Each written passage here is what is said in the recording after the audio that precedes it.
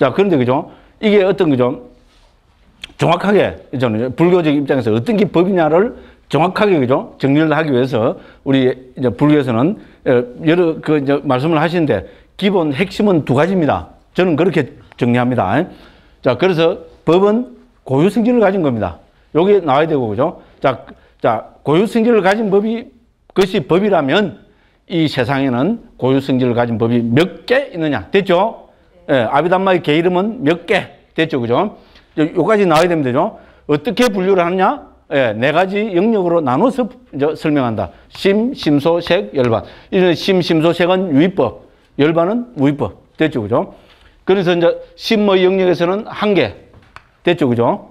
그 다음에 심소법은 몇개 있습니까? 52개. 됐죠? 그죠? 색은 28개. 됐죠? 그죠? 열반은 한 개.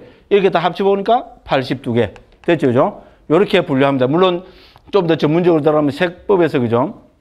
추상적 물질 10가지는 그죠? 구체적 물질이 가진 성질이기 때문에 고유 성질이 없는 걸로 설명합니다. 그런데 막 기본적으로, 기본적으로는 있잖아요. 막 82가지 고유 성질을 가진 법이 이래 해도 막 크게 문제는 없습니다. 그죠? 자, 그래서 이렇게 됩니다. 그죠? 자, 그러면은, 자, 두 번째 전제 조건이 뭡니까? 예, 법의 두 번째 전제 조건은 찰나, 찰나라는 겁니다. 유입, 무위법인 열반을 제외한 모든 유입법은 찰나적 존재라는 겁니다. 그죠? 됐죠? 그죠? 그러면 찰나인데 왜 가만히 있느냐?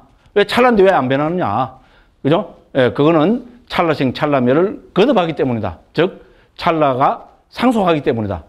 그래서 찰나와 상속, 찰나와 흐름으로 발전이 돼야 됩니다. 됐죠? 그죠? 1번 공리에서는 몇 개로 발전돼야 되고요. 2번 공리에서는 찰나는 흐름으로 가야 됩니다. 그러면 상자부 불교에서는 가장 큰 특징은 찰나를 두 가지 찰나로 봅니다. 그죠? 물질 찰나와 심찰나가 있는 거로 이야기합니다. 자, 이게 다르다는 것은 물질 찰나의 속도와 심 찰나의 속도가 다르다는 겁니다. 그죠? 그래서 심 찰나는 우리 마음은 물질보다 더 빠르겠죠. 그죠? 그런 상식이죠. 그죠? 그래서 심 찰나는 그죠? 물질이 머무는 아찰나에 16번 일어나고 머물고 사라지고를 거듭한다. 그래서 거칠게 이야기하면 16배 빠르다. 혹은 16배 내지 17배 빠르다. 이러면 됩니다. 그죠? 엄격히 이야기하면 뭡니까? 수학적으로 보면은 요거는 같으니까 그죠? 여기 16이고 여기 3분의 1이죠. 물질 심찰로 보면 그죠? 3분의 1이 두 개니까 뭡니까? 3분의 2 됐죠? 유식하다고 했잖아요. 예. 물, 심찰라는 물질 찰나보다 16과 3분의 2배 빠르다. 이러면 뭡니까? 땡입니다. 왜 땡입니까? 3분의 2 마음이 있어요? 없습니다. 왜냐면 3분의 2라는 것은 고유 성질을 못 드러냅니다. 됐죠? 그러니까 그건 법이 아닙니다. 그러니까 땡입니다. 똑똑한 척 하다가 그죠? 땡입니다. 그러면 뭡니까?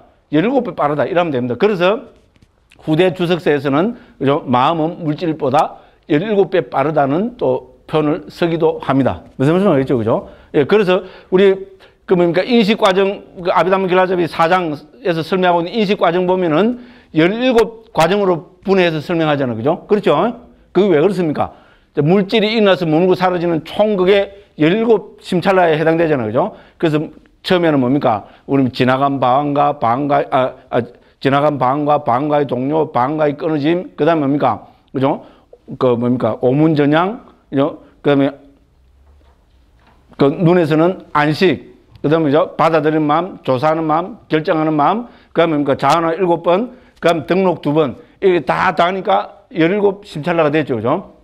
이런 인식 과정의 논리는 그죠? 어디서, 어디에 근거를 합니까? 물질 찰나와 심찰나의, 그죠? 그 찰나의, 그죠? 길이가 혹은 그 찰나가 크기가 다르다는 거. 그죠? 그래서 물, 마음은 물질보다 다 합쳐서, 그죠? 17배 빠르다는 이 논리적인 근거에서 나온 이론들입니다. 됐죠? 이렇게 정리해보면 간단 명료합니다. 그죠? 어려울 거 하나도 없어요. 아비다마길라잡이. 예? 근데 그, 그동안 왜 이렇게 정리 안 해주세요? 예, 너무 쉽게 하면 그죠? 미친 탓. 이게 농담이고요.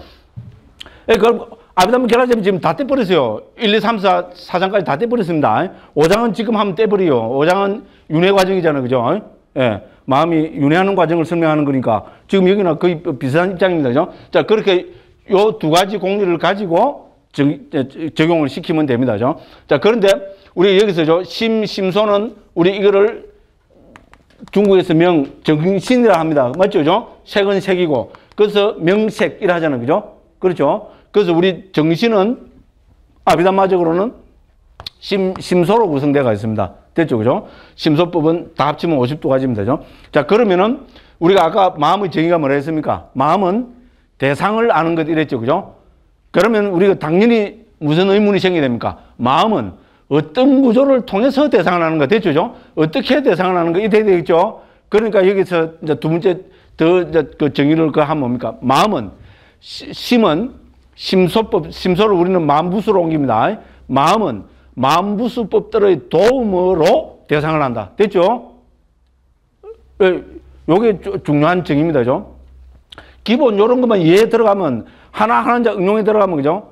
예, 이렇게 그죠? 그, 그게 됩니다. 그죠? 그래서 마음은 마음부수법들의 도움으로 대상을 압니다. 이렇게 우리가 정리를 할 수가 있습니다. 자, 그렇게 이제, 이제 할수 있고. 그 다음에 또 우리가 한번 생각해 봐야 될 거는 뭡니까? 그죠? 마음은 두 번째 정의가 뭡니까? 마음은 그러면 찰나적 존재입니까? 영원한 존재입니까? 예? 죄송합니다. 마음이야말로 찰나적 존재입니다. 물질보다도 무려 일곱 배는 더 빨리 변합니다. 그죠? 됐죠? 그죠? 마음은 찰나적 존재입니다. 죄송합니다.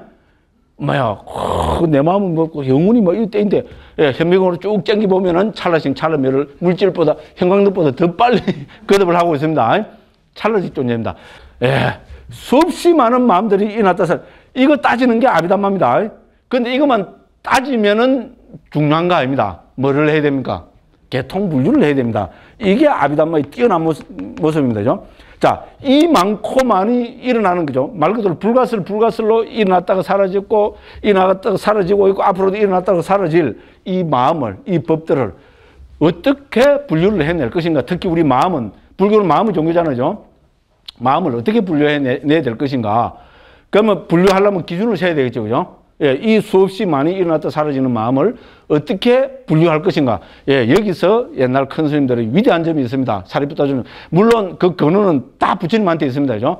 그러니까 이 마음이 분류를 해냅니다. 분류를 해서 있잖아요. 기준을 가지고 분류를 딱 해보니까 몇 가지로 분류가 됐다는 겁니까? 89가지입니다. 굉장합니다. 그렇잖아요. 말로 표현할 수 없는 저 수없이 많이 일어나는 마음은 있잖아요. 어떤 기준을 세워서 89가지 마음으로 분류된다. 이거는 굉장한 분류입니다. 89가지 나는 더 잘 분류할 수 있냐. 한번 해서 가져오십시오. 예. 네, 그죠? 그런데 이 분류는 불교적이어야 되겠죠. 그렇잖아요. 그래서 불교적인 기준을 가지고 멋지게 분류를 해내고 있습니다. 자, 이 기준이 오늘 저 우리 저 12연기에서 나타나고 있습니다. 자, 그래서 그죠? 이제 요렇게 이제 말씀을 드리고 그죠? 자, 어디에 나타납니까? 바로 아까 제가 읽었죠. 그죠? 의도적 행위들은 나오죠. 그죠? 아, 아까, 아까 읽은 부분이잖아요. 그죠? 자, 의도적 행위들 업이라 그랬습니다. 업 형성들은 세간적인 유익하거나 해로운 마음과 연결된 29가지 의도를 말한다. 이렇게 했습니다. 그죠? 자, 그래서 그죠? 우리가 불교는 그죠? 우리 그죠? 그, 그 뭡니까? 그, 그 뭐라 그럴까요? 우리 소위 말하는 그죠? 윤회의 뭐, 뭐 근본 논의를 할까? 그 다음에 괴로움과 즐거움, 뭐 윤회 이런 그 근본 원인으로 뭐를 들고 있습니까? 업을 이야기하는 겁니다. 불교의 가장 큰 특징은 업설이죠. 물론 인도의 다른 종교들도 업을 설합니다만은 불교만큼 개통을 정확하게 해서 그죠? 이 합리적이고 지극히 객관적이고 과학적으로 한 그, 그건 잘 없습니다. 자, 그래서 불교는 이 삶의 전개 있잖아요. 이 모든, 그죠, 소위, 우리가 소위 말하는 길흉화복, 뭐, 그죠? 뭐, 선, 불선, 선악, 이 모든 전개의 기본에, 기본을 업에서 찾고 있습니다.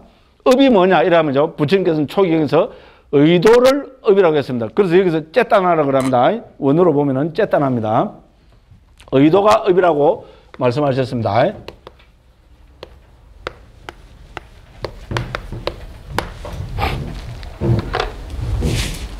자, 그래서 그죠? 자, 어디서 찾고 있습니다. 그죠? 자, 그래서 불교는 그죠? 우리 모든 괴롭고 즐거운 그 원인, 그러면 생사윤회의 원인, 이거를 업에서 찾고 있습니다. 됐죠? 그죠? 그러면 업이 왜 중요하고 왜 겁이 나느냐? 업은 반드시 과보를 가져옵니다. 그게 지금 여기서 우리 12연기에서도 인과 인과 이래 하죠. 그죠? 그러면 인 있잖아요. 무명행 애취유가 인이죠. 식, 명색, 육입, 촉수가 과지요. 저 이걸 우리가 한마디로 줄이면 그죠? 그 뭡니까? 우리 그죠? 그, 그 인은 업이라고 요약할 수 있습니다. 됐죠? 그죠? 그래서 업을 지으면은 뭘 가져온다는 겁니까? 과보를 가져온다는 겁니다. 그죠? 그래서 업과 과보와의 관계. 그죠? 이게 우리가 불교에서의 좀 가장 중요한 관계입니다. 그래서 12연계에서도 결국은 뭡니까? 그죠? 삼세 양중 인과를 보는데 여기서 있잖아요. 이는 업으로 이해할 수 있습니다. 자, 이러면 그죠? 똑똑한 분들은 딱 달라들어야 됩니다. 그죠? 어, 스님 말에 어폐가 있습니다. 왜? 그죠? 여기 의도가 업이라 했죠? 그러면 무명, 그죠? 행, 에, 시, 유 같으면 여기서 의도는 이 행과 유 있잖아요. 요 두 가지만 업입니다. 그러면 스님이 이야기하는데 무명과 가래와 치는 업이 아니지 않습니까? 이래 해야 됩니다. 그죠? 초기 경으로 보면 그렇게 이야기할 수 있습니다만 주석서 문헌에서는 이죠 업을 이죠 어떻게 정의하는 뭐 의도뿐만 아니고 의도와 결합된 심소법들까지도 들고 있습니다. 됐죠, 그죠? 그러니까 무명의 취도 있잖아요. 우리가 그 행이 일어날 때 혹은 그죠 의도가 일어날 때 아비담마의 행분 어, 우리 아비담마 그 50도까지 심소법 행분들은 다 알고 있습니다, 그죠? 예, 함께 일어납니다. 그렇기 때문에 이것도 넓게는 무명행 애취유를 다 업으로 봐도 됩니다. 그래서 우리가 인이라고 하기도 하고 업이라고도 할 수 있습니다. 정확하게 이야기하자면은 행과 유만이 업입니다. 그죠? 무슨 말씀 알겠죠? 그죠? 그래서 제가 드리고 싶은 말씀은 업이 왜 중요합니까? 업은 반드시 과보를 가져온다는 겁니다. 그죠? 그래서 우리 12연기도 이 뭡니까? 인과, 인과 이래서 있잖아요. 저 원인인, 그죠? 업과 과보와의 관계를 밝히고 있다는 겁니다. 됐죠? 그죠? 그래서 그죠? 이제 그렇게 이제 본다면은 우리 이, 이 수없이 많고 많은 마음도 크게 이렇게 둘로 나눠 볼 수 있겠죠. 업을 짓는 마음, 과보로 나타난 마음. 됐죠? 그죠? 요렇게 분류해 볼 수 있습니다. 요렇게 발전돼야 됩니다. 그죠? 그래서 우리가 저, 이, 저 수없이 많은, 아까 저, 저, 그 뭡니까? 3조 7천억 번, 저건 내 혼자 일어나는 겁니다. 거칠게 본 겁니다. 그죠? 수없이 많이 일어나는 마음들을 있잖아요. 딱 크게 두 가지 기준으로 딱 해체해서 봐야 됩니다. 해체가 기본입니다. 딱 해체해서 보면 뭡니까? 업을 짓는 마음, 과보로 나타난 마음. 요게 기본 구조입니다. 그죠? 그런데 우리가 좀 더 살펴보면 뭡니까? 업은 크게 두 가지가 있습니다. 하나는 유익한 업, 하나는 해로운 업입니다. 그죠? 네. 그래서 우리가 아비담마적으로 보면은 그죠? 왜 이제 유익하고 해롭 이게 들어가야 되는가 하면 아비담마적으로 보면 의도는 반드시 들이죠. 다른 말로 하면 뭡니까? 어떤 마음이 일어나든 거기에는 기본적으로 의도가 다 포함되어 있습니다. 그죠? 우리 심소법들 52가지 중에는 반드시 들과 때때로 들어있죠. 그죠? 어, 나 지금 모르겠는데 공부해갖고 아는 분하고 공부하는 사람은 모르는 거 당연합니다. 모른다고 막 그걸 하지 마, 그, 그러면 하지 마십시오. 어떻게 해야 됩니까? 공부하시면 됩니다. 됐죠? 그죠? 시간이 없어가고 요라고 넘어갑니다. 그죠? 예, 그래서 그죠? 그래서 제타나는 의도는 뭡니까? 어떤 마음이 일어나든지 다 일어납니다. 자, 다른 말로 하면 과보로 나타난 마음에도 의도는 들어 있습니다. 됐죠? 과보로 나타난 마음에 들어있는 의도를 업이라 분리 됩니까? 안 분리 됩니까? 부르면 말이 안 됩니다. 왜? 지금 과보인데 어떻게 그 업이 있어요? 됐죠? 그죠? 그러니까 어떻게 됩니까? 두리뭉실하게 이제 방편적으로 부처님께서 말씀하실 때는 의도가 업이라 이래 하셨는데 아비담마 입장에서 보면 어떻게 됩니까? 모든 의도는 업이 아닙니다. 됐죠? 과보로 나타난 마음에 있는 의도는 업이 될 수가 없습니다. 상식적이잖아요. 그러니까 뭡니까? 주, 특히 아비담마 주석서 문헌에서는 의도를 딱 찍어서 이야기합니다. 무슨 의도? 유익하거나 해로운 의도. 됐죠? 그죠? 즉 유익한 마음이 일어날 때 함께 일어나는 의도와 해로운 마음이 일어날 때 함께 일어나는 의도. 즉 유익하거나 해로운 의도. 이렇게 제안을 합니다. 당연한 이야기입니다. 그죠? 그 다음에, 이제 특히 이제 우리 아비담마에서는 그죠? 이 의도와 유익하거나 해로운 의도와 함께 일어나는 심소법들, 이렇게도 이야기를 하고 있습니다. 우리가 예를 들어서, 그죠? 북방에도 우리, 그, 뭡니까, 그, 그 십선업, 십악업 이라 하죠? 요 십악업이 뭡니까? 우리 그죠? 그, 그, 그 살생, 투도, 사음, 망어, 기어, 양설, 악구, 그 다음에 뭡니까? 그 탐해, 진해, 사균 우치, 이들죠, 그죠? 요 열 가지입니다. 그죠? 그럼 이 가운데 탐, 진, 뭐, 뭐, 뒤에 거는 탐진치로 보면 됩니다. 그죠? 탐해, 진해, 사균 우치는 탐진치입니다. 탐진치가 의도입니까? 의도, 의도가 아닙니까? 의도가 아니지요? 어, 탐욕은 탐욕이고 의도는 의도죠. 됐죠? 의도가 아닌데 왜 10악업에 10가지 해로운 업에 넣어놨습니까? 이거는 어떻게 설명할 겁니까? 초기 경에도 이미 그런 나옵니다. 10선, 10선업과 10악업은 이미 초기 경에 나옵니다. 그런데 그 10가지 해로운 업 가운데 의도가 아닌 세 개가 뒤에 붙어 있습니다. 어떻게 설명할 겁니까? 그러니까 의도와 함께하는 심소법들 이렇게 정의를 합니다. 됐죠? 무슨 소리가 있죠, 그죠? 예, 예, 그렇게 합니다. 어머야, 그러면 살생은 살생은 몸으로 딱 이러는데 몸, 이, 이, 그죠? 몸으로 살생하지, 그죠? 이게 뭡니까? 거짓말은 입으로 하는데, 어머야, 이게 왜, 왜, 그죠? 의도지. 그죠? 그래서 여기서 말하는 말과 요거는 행동 기관일 뿐이지 업이 아닙니다. 그렇게 살생은 뭡니까? 뭐가 합니까? 살생이라는 그 업은 의도입니다. 됐죠? 의도, 때려 죽여야지 이러면 그는 그 물론 이제 그래서 있잖아요. 법리적인 옛날 스님들 있잖아요. 막 복잡한 법리적인 그 해석을 다 합니다. 우리 요새 법 상식하고 저는 저는 법을 공부 안 해서 모르겠습니다만 거의 비슷하다고 생각합니다. 죠 우리가 확 때려 죽이 빼야지 이러면은 그게 그죠? 그, 그 살생업이라고 볼 수 없지요. 그죠? 그 때려 죽이 뿌려야지 하는 거는 죠 악의잖아요. 죠? 그 단계는 악인데 그다음에 뭡니까? 사람을 이제 때렸죠. 때리는데 아직 안 죽었어요. 그러면 살생업은 아니죠. 그 단계는 또 무슨 업이라 합니다. 그렇죠?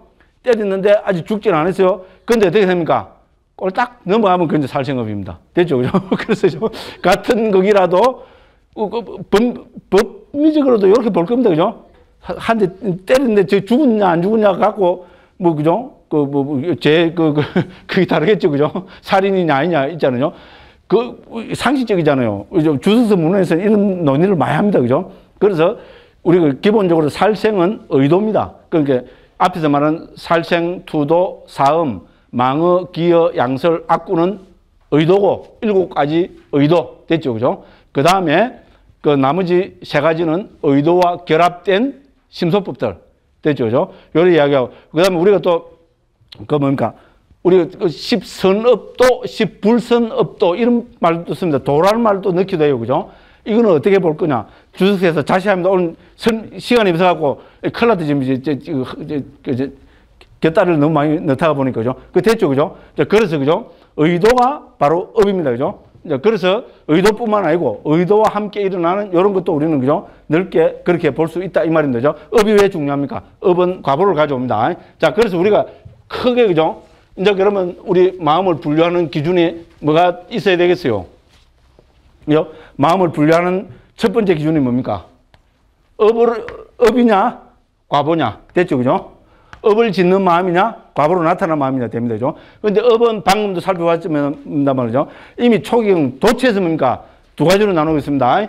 선업, 예, 불선업. 됐죠? 그러니까 우리가 마음을 분류하는데도 유익한 마음, 그 선한 마음, 그죠? 불선한 마음 분류를 해야 되겠죠?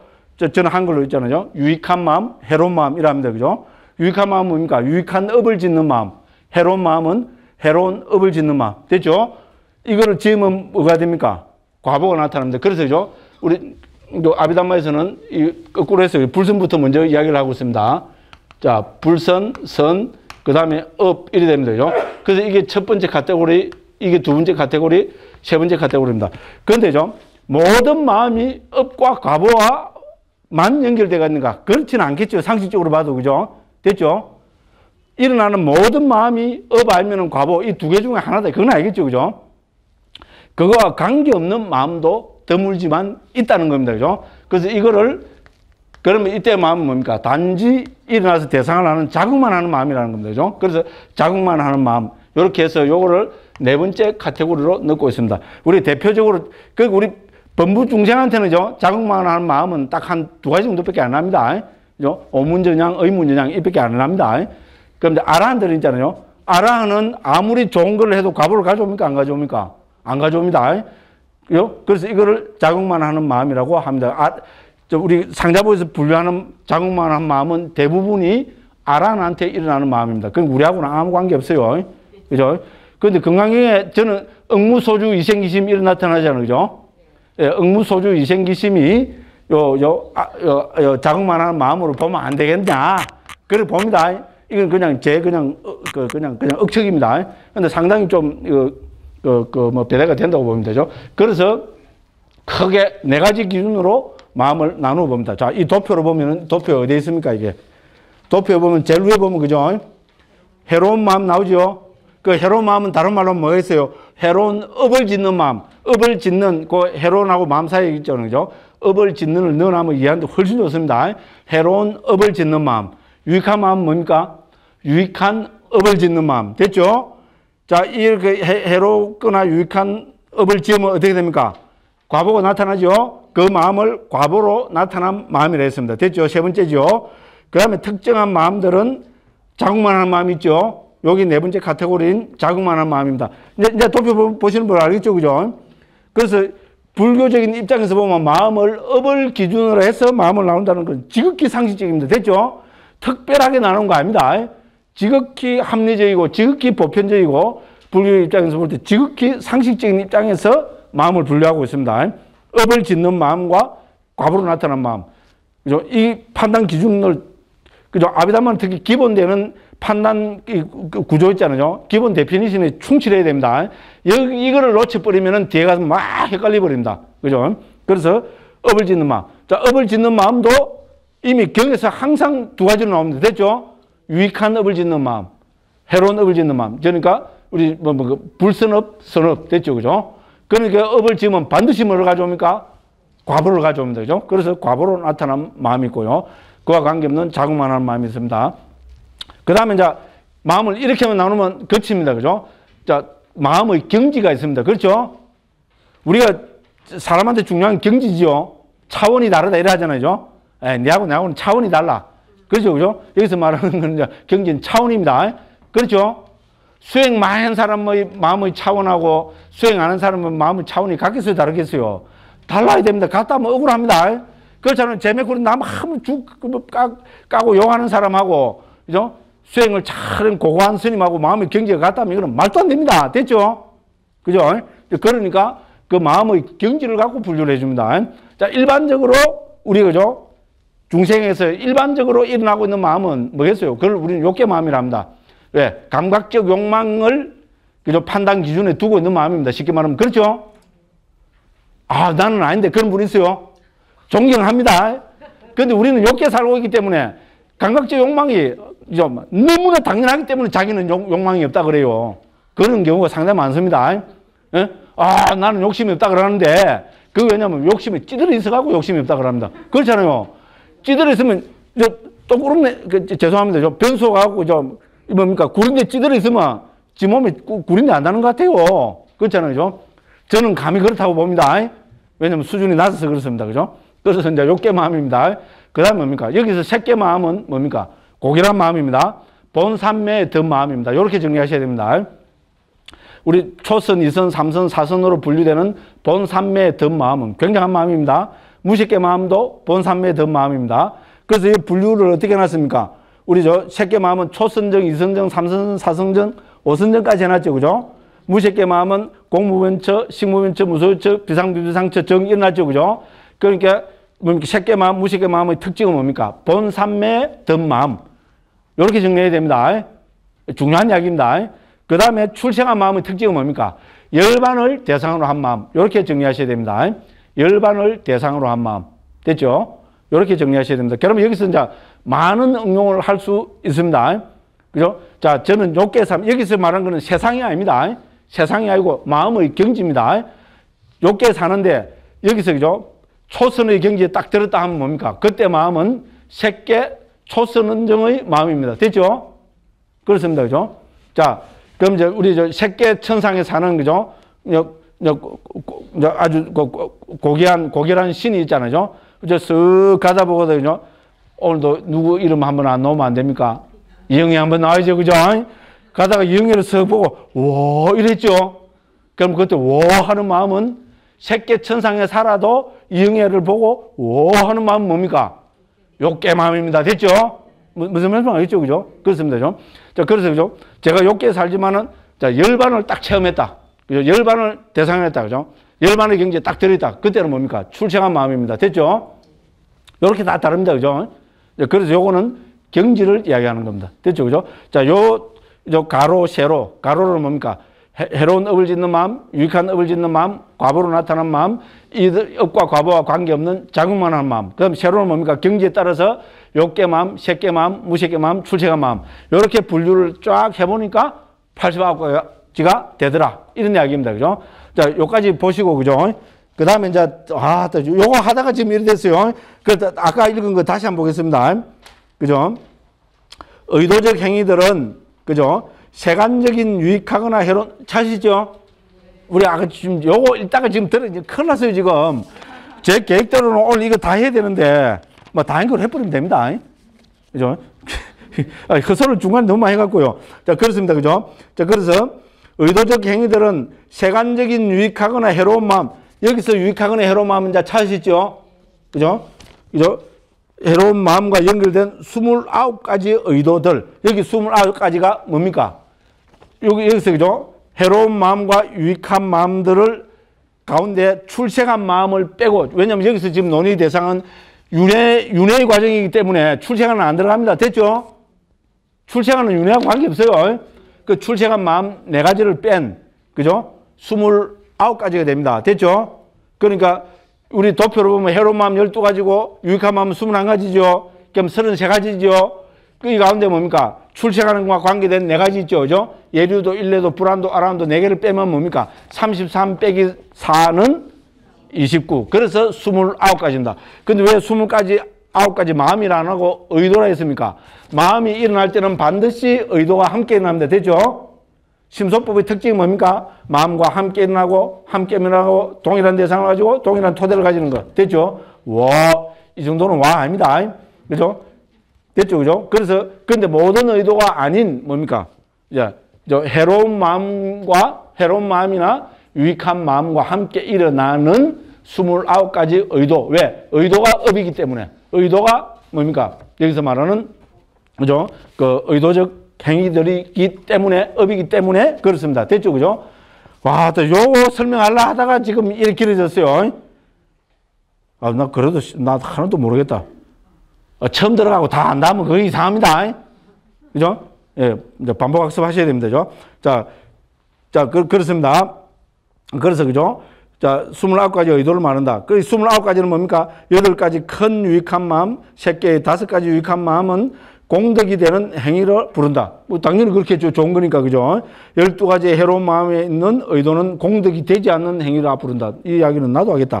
무색계의 네 가지 유익한 선의 마음들은 흔들림 없는 행위라 부른다. 여기서 왜 8가지 이런 거는 아시겠죠? 그 요런 숫자 나오면 이제 요 도표 있잖아요. 요거를 옆에 두고 보시면 됩니다. 그죠? 그래서 제가 요 프린트를 해서 나눠 드렸습니다. 자, 그렇게 됩니다. 그 다음에 중생의 정신적인 흐름과 흐름이 무명과 합치되면 그의 의도적 행위는 미래의 결과를 생산하는 힘으로서 업을 산출한다. 그렇겠죠. 그죠? 예. 그래서, 그죠? 그래서 무명이 업을 형성하는 어떤가는 조건이라 한다. 됐죠? 여기서 여러 가지 조건이 있지만 어떤 가지 조건, 주원인, 막 그- 그렇게 표현을 했습니다. 그죠? 자, 무명은 해로운 행위들에서는 현저하게 드러나고, 그렇죠? 그러니까 뭐 나쁜? 의도적 행위에는 무명이 현저하게 드러나고 세간적인 유익한 행위들에서는 잠복해 있다. 그렇겠죠, 그죠? 그러므로 세간적인 유익한 의도적 행위들과 해로운 의도적 행위들은 무명에 조건져 있다고 하는 것이다. 이렇게 설명했습니다. 자, 넘어갑니다. 자, 이 의도적 행위들을 조건으로 아르마리가 한다. 뭐 행연식을 설명합니다. 그죠? 자, 여기서 행은 뭡니까? 당연히 업입니다. 그죠? 업은 몇 개 있습니까? 그러니까 29가지는 선하거나 해로운 의도적 행위들 나오죠? 29가지가 뭐지? 위에서 했습니다. 그죠?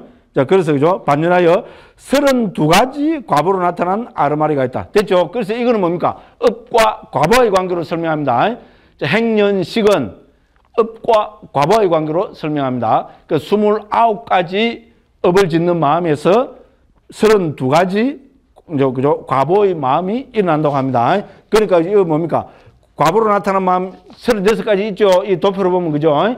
제일 위에 보면 과보의 마음 36대 있죠. 뭐예요? 36가지인데 왜 32가지를 했죠? 출생한은 여기서 윤회는 출생안에 해당 안 됩니다. 그렇죠?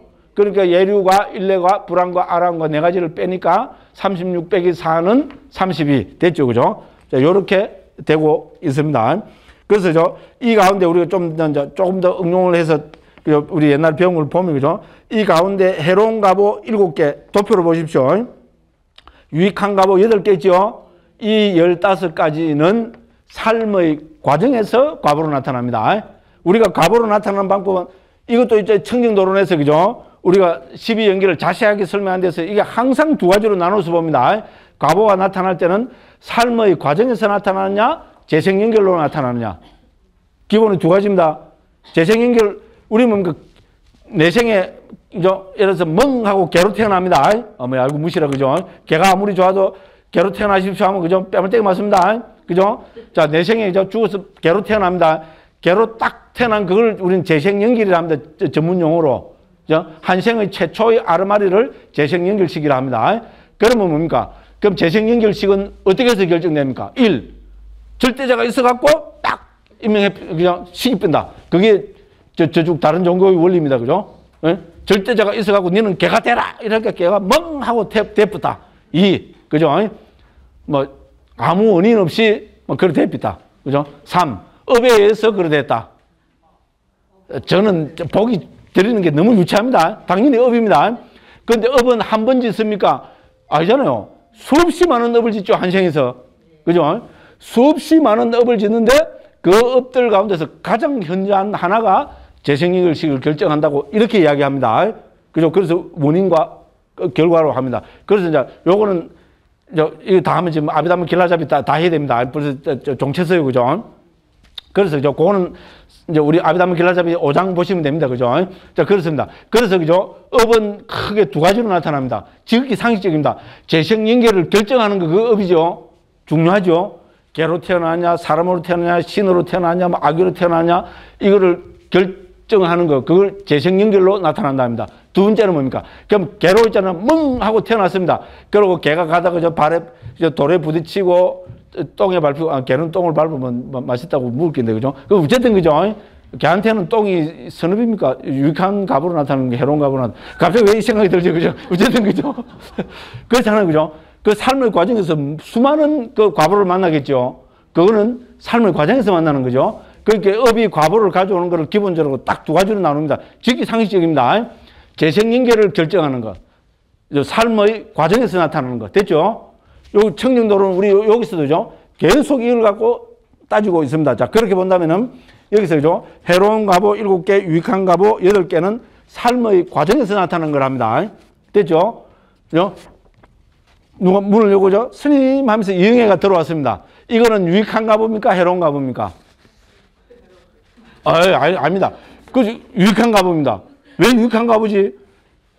재밌는 이야기가 나옵니다. 그, 저, 우리 좀, 그, 위반과 주석서에 보면은 유익하냐, 유익한 갑오냐, 해로운 갑오냐는 그 시대 보통 사람들의 판단 기준에 따르면 된다. 이렇게 딱 나옵니다. 그렇죠? 이 시대 우리 한국에서 이영애를 봤습니다. 유익한 가봅니까? 해로운 가봅니까? 아, 죄송합니다. 유익한 가보잖아요. 그죠? 가다가 똥을 밟았습니다. 유익한 가봅니까? 해로운 가봅니까? 해로운 가보죠. 그죠? 예, 가다가, 그죠? 돈 천 원짜리를 하나 주었, 주었습니다. 유익한 가보죠. 그죠? 예, 그렇습니다. 그죠? 그래서 보통 사람들의 기준을 보면 된다고 합니다. 그죠? 그래서 이렇게 나타나는 과보는 전부 삶의 과정에서 나타나는 과보입니다. 당연하죠? 그래서 우리는 과보는 있잖아요. 삶의 과정에서 수많은 과보를 가져온다는 겁니다. 됐죠? 그런데 이것만큼 혹은 이것보다 더 중요한 거는 뭡니까? 재생 연결을 결정하는 겁니다. 그렇죠? 한 번 깨구리는 그렇죠. 죽을 때까지 깨구리입니다. 무시무시합니다. 그렇죠. 그죠? 이 잘못돼갖고 뭡니까? 깨구리 재생 연결식을 딱 깨구리 하면 뭡니까? 죽을 때까지 깨구리 깨구리입니다. 중간에 사람 못 됩니다. 그렇잖아요. 비참합니다. 그러니까 죠. 재생 연결은 오히려 삶의 과정에서 나타나는 과보보다 그죠? 재생 연결을 결정하는 과보는 더 무시무시하고 겁납니다. 그죠? 그렇죠. 그죠? 아닙니까? 아, 맞습니다. 상식적으로 보면 저 불교 업설은 굉장한 가르침입니다. 어쨌든 수많은 경우의 수가 있고죠. 그런 걸 상자부 아비담에서는 나름대로 다 설명을 하고 있습니다. 자, 그래서 여기서 15가지는 삶의 과정에 나타나는 과보입니다. 그러니까 여기서 보면 해로운 과보, 유익한 과보 돼 있죠.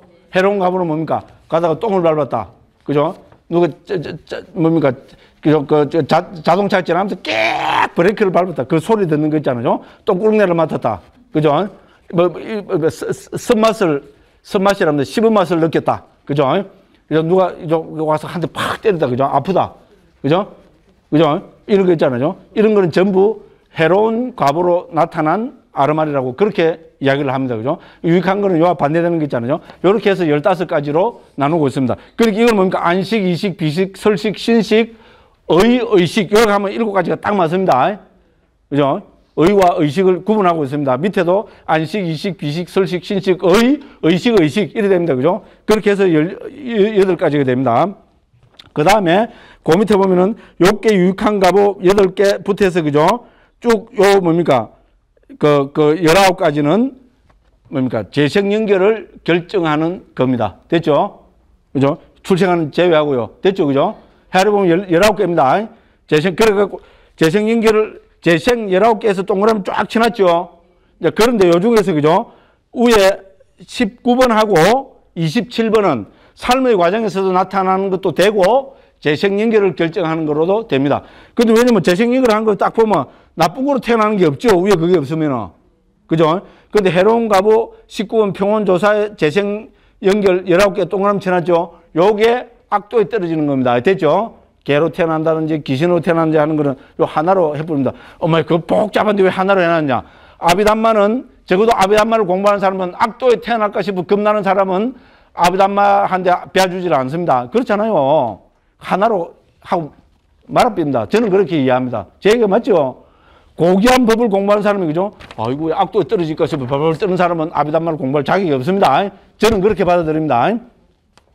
그 다음에 27번은 뭡니까? 재생연결인데 요, 요거는 그, 그 원인이 없는 거니까 요. 요 경우에는 이제, 인간에 태어나도 뭐 불구자로 태어난다든지, 그죠? 천상의 어, 신으로 태어났는데 우리 낮은 신 있잖아요. 뭐 수신, 목신, 지신 이런 거 있잖아요. 그 우리 뭐 저, 절에서 제일 겁나는 그 뭡니까 신장이 누굽니까? 변소 귀신입니다. 정랑 귀신은 그 그렇게 주지 스님들 있잖아요. 불사할 때 변소는 안 바꿉니다. 왜냐면, 그, 그, 들, 들어봤죠, 그죠? 왜냐면 정랑 귀신 끝발이 워낙 세갖고 있잖아요. 변소를 고치다 정랑을 우째했다면 바로 주지 뭐 사고 나갖고 있잖아요. 쫓겨나거나. 아, 뭐 그렇다고 그런 전설이 있어요. 그뭐 행사 옛날에 어떤 뭐뭐 주지 스님도 그랬고, 막 송왕사 뭐뭐 주지 스님도 그러고, 변소 뜻, 뭐막 고쳤다 하면 바로 작살입니다. 그래갖고 지금도 그대로 남아있어요. 실상사에도 변소 그대로 남아있어요, 옛날 변소. 물론 그것 때문에 남아있는 건 아닌데, 밑에 그건 다 없앴는데, 그죠? 그냥 기념품 요, 그거를 해가고 요새는 뭡니까? 그래서 막 명상 음악 나오고 막 그래요. 그럼 사람들 그더라 와 이라는 데 있잖아요. 옛날에 그 똥가이면서 똥가. 아니, 예를 들어서 그죠? 이야기 하다 보니까 그런 이제 선체 태어났지만 그죠? 저급한 신이나 그죠? 좀 저, 몸이 성치 못한 인간으로 태어난 경우 뭐 이렇게 들고 있습니다. 그렇게 나누고 있습니다. 그래서 여기서 중요한 거는 과보를 가져오는 것은 크게 두 가지를 분류하고 지금 상식적입니다.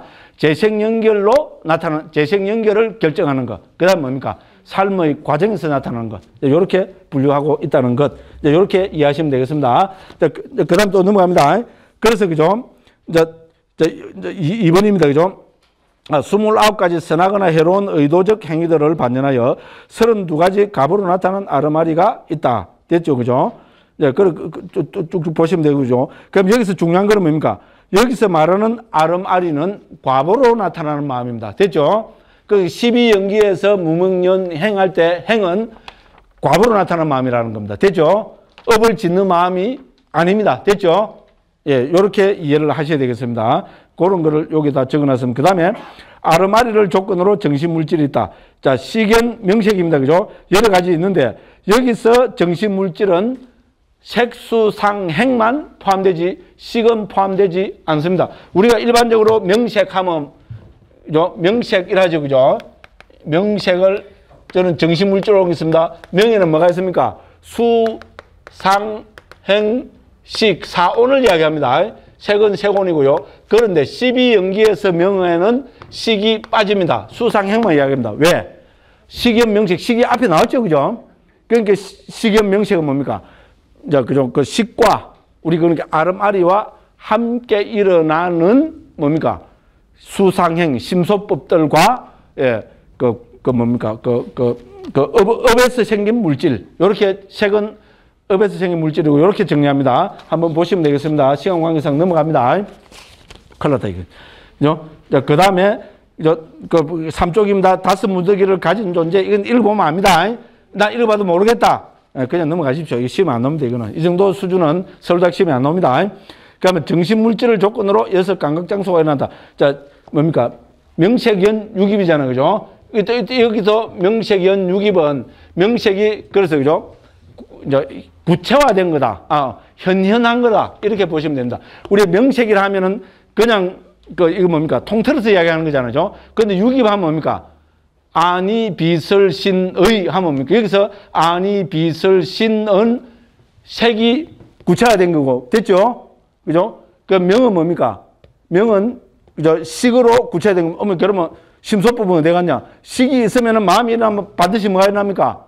심소법들이 함께 일어납니다. 그죠? 그러니까 명색연 유깁에서는 명색이 구체화된 것을 유깁이라 한다. 이렇게 이해하시면 됩니다. 여기 설명도 예, 뭐 한번 보시면 좀 그런 측면에 대가 있습니다. 그 다음에 정신 물질을 조건으로 아 요건 했죠, 그죠? 그죠? 명색연 유깁은 방금 했고요. 그래서 이거는 전부 이제 과부로 나타나는 마음이기도 합니다. 그 다음에 5번입니다. 자, 유기비연 촉, 그죠? 자, 여섯 가지 감각장소를 조건으로 감각 접촉이 일어난다.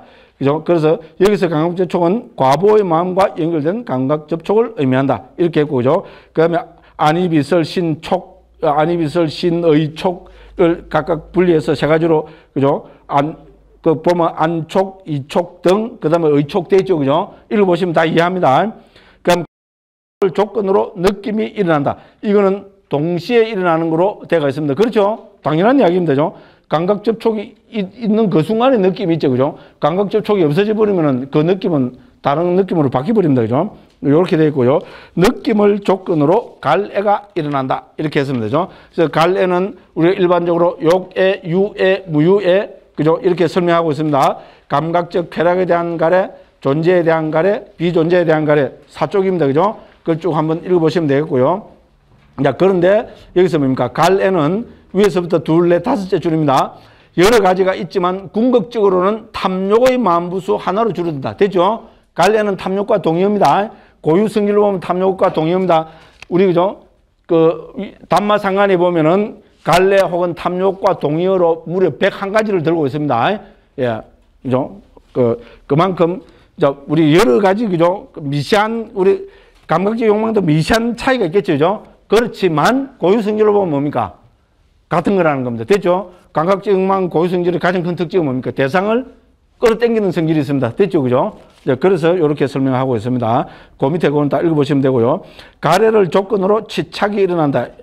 애연치입니다. 여기서 치는 우리 네 가지 치착을 이야기합니다. 욕치, 견치, 개금치, 아어치, 아비담 길라잡이 보면 다 나옵니다. 그래서 여기서 뭡니까? 그러면 치착을 어떻게 봐야 되느냐? 예. 감각적 그 8번에서 두 번째 줄입니다. 감각적 쾌락에 대한 치착은 가래가 강력해진 것 이렇게 보시면 됩니다. 됐죠? 우리 치착한다는 것은 갈래가 더 강력해진 거잖아요. 그죠? 이제 이렇게 이해하시면 되겠습니다. 그럼 뒤에 세 가지 취착은 사견의 만부수의 형태로 했습니다. 그럼 취착을 조건으로 존재가 있는데 여기서 존재 유는 우리 업과 동의로 보시면 됩니다. 상좌부에서는 업유, 생유 이렇게 하고 있습니다. 자, 그렇게 해서 이렇게 나누고 있습니다. 그냥 제일 쉽게 있잖아요. 어, 존재는 업과 동의어다. 유는 업과 동의어다. 이렇게 보면, 보면 됩니다. 요게 이제 상좌부 불교하고 위에 설일체유부, 북방 설일체유부가 조금 다릅니다. 설일체유부에서는 여기서 유를 전적으로 업유만 봅니다. 그런데 상좌부에서는 업유도 되고 생유, 그죠? 요것도 된다고 그렇게 이야기합니다. 한번 읽어보시면 되고요. 존재를 조건으로 태어남이 있다. 즉, 여기서 요, 유는 업유입니다. 그죠? 업을 조건으로 해서 태어나죠. 맞죠? 그죠? 그죠? 예, 업이 재생연결을 결정하게 됩니다. 그죠? 그리고 뭡니까? 태어남을 조건으로 늙음 죽음이 있다. 이거는 당, 뭐 우리가 이해하는 겁니다. 그죠? 자, 이렇게 해서 우리 저 12연기를 했는데 그죠? 아 제가 너무 기분 좋아하고 막 너무 자세하게 하다 보니까 뒤에 부분 조금 등한시되는데 그죠? 자세하게 보시려면 어떻게 하면 됩니까? 요거 이제 보십시오. 요런 이해를 가지고 보시면은 조금 이제 이해하는 것이 수를 겁니다.